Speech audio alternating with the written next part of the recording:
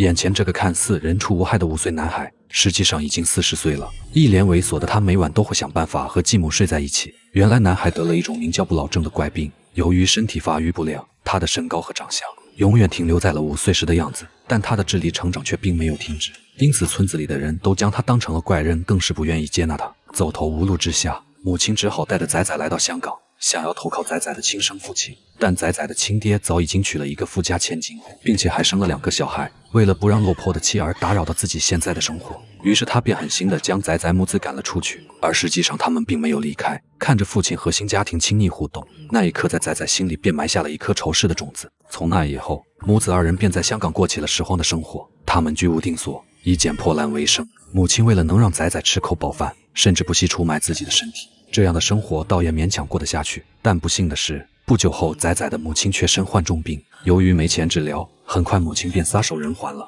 失去了母亲的庇护，仔仔变得更加无助。好在善良的邻居收养了他，但为了不让邻居发现自己身患不老症的秘密，仔仔自知不能在这里待太久，为了给自己凑到足够多的生活费，走投无路的仔仔便在离开之前将邻居的亲生孩子卖给人贩子。他则拿着赚取的黑钱，再找新的好心人家收留。第一次的时候，仔仔还心存愧疚，但卖孩子换取的高额回报，却让仔仔逐渐沉沦。畸形的成长环境，早就让他忘记了什么叫做善良。不过，常在河边走，哪有不湿鞋？仔仔身患不老症，并且不能长大的秘密，终究还是被人发现了。于是，他便被关进了一家研究所里。在这里，仔仔结识了好朋友大傻。大傻患有早衰症，情况正好跟仔仔相反。大傻身体发育虽然与常人无异。但他的智力却停留在了七八岁的水平。仔仔凭借着自己的高智商，指使着大傻顺利的逃出了研究所。为了掩人耳目，仔仔还伺机混进了一家孤儿院。没多久，仔仔便被一对有钱的夫妇收养。夫妇二人觉得仔仔跟自己死去的儿子很像，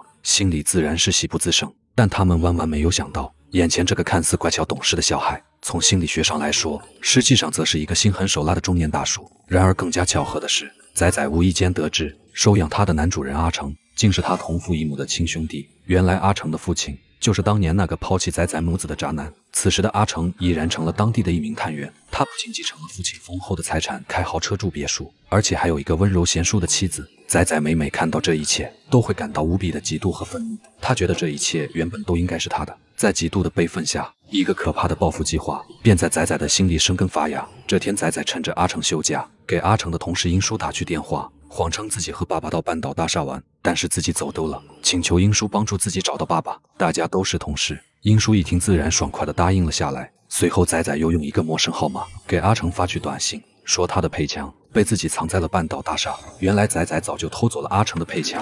阿成连忙检查配枪，果然已经不在了。身为探员却丢了配枪，这绝对是有损作风的大事。于是他连忙赶往半岛大厦。随后，仔仔指挥着大傻，先是将赶来的英叔推下大楼，然后又伺机打晕了阿成。当阿成再次醒来时，却发现自己出现了缺陷性失忆，记忆变成了一段一段的。